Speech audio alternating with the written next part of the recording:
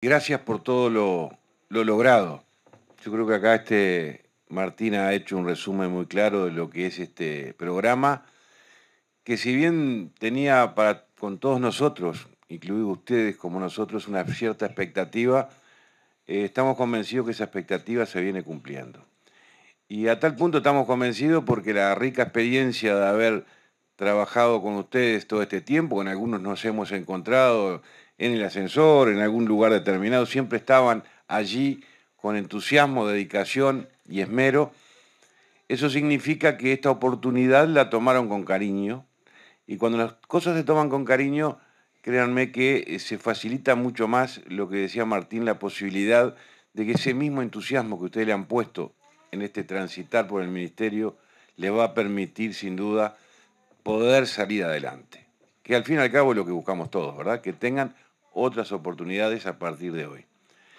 La certificación, la capacitación, todo el proceso de aprendizaje que espero que les haya sido útil, les va a servir a todos y a cada uno de ustedes, créanme, como una carta de presentación fundamental, clave. Porque todos siempre en el país, últimamente coincidirán conmigo, cuando aparece una oferta o una propuesta laboral y dicen, ¿qué han hecho? Bueno, acá tienen la tranquilidad de decir, trabajamos en el Ministerio de Transporte, en distintas áreas, fundamentalmente en arquitectura y en otras más. ¿Para qué? Para aprender, para tener una oportunidad, para tener un ingreso transitorio, porque queremos salir adelante con nuestro propio esfuerzo. De eso se trata, la verdadera política social de un país. Que el Estado tienda la mano y que ustedes la tomen, porque si el esfuerzo lo hace el Estado y ustedes no son parte de ello, créanme que sería este, un disgusto para todos, porque no tendría el éxito esperado. Aquí vemos a algunos llorando, otros medios este, con caras tristes, y yo creo que no.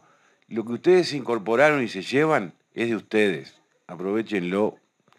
Y créanme que esto es sin duda una carta de presentación que hoy la tienen que cuando iniciamos, que creo que estuve yo en aquel momento, ¿verdad? Cuando arrancaban, este, si mal no recuerdo allá en, los talleres, estuvimos allá, y hoy me decían, ministro, ¿usted va a estar? Sí, voy a estar. Mire que no es porque me, me sobre el tiempo, pero tengo que estar.